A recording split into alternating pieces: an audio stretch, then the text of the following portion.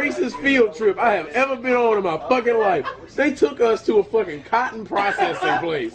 And there was a big ass cotton field out in the middle of fucking Raymond, Alabama, in the south of Montgomery County. We went there, and me and 28 other little nigglets in Miss Harper's third grade classroom, they took our asses out there in the middle of the fucking August heat and said, hey, y'all, they gave us bags and shit, like little cute little plastic bags with a cute with a cotton puff person with a smile on his face. And they're like hey y'all go out y'all go out there have fun pick as much cotton as you want. And so I, my stupid ass went you know? I went. My mama signed off on it and didn't think about it. And i went to the fucking field trip. Out there in the field just having a good old time. We were singing songs and shit in the middle of the motherfucking field picking goddamn cotton in the middle of the fucking heat and then, you know, I'm thinking, because it's a field trip, they told us you can pick as much as you want. Hey, you get to keep the fucking cotton.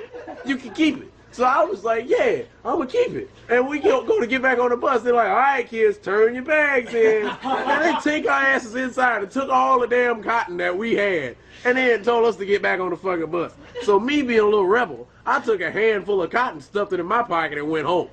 Then my mama came when she was doing laundry the next night. She was like, "What the fuck is this cotton in your back pocket?"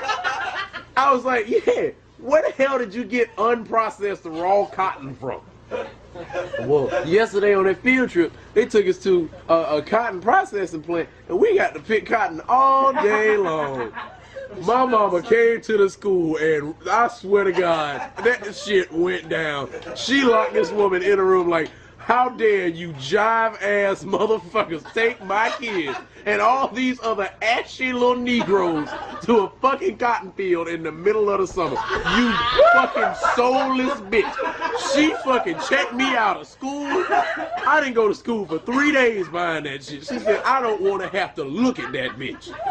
She was pissed at everybody. Yes, that was the most racist shit I've ever gone through in my life. I didn't even understand what was wrong until the next year. I didn't even understand.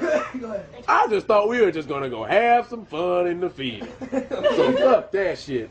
That was fucking sharecropping if I ever seen it. Fuck that shit. I'm about to recheck.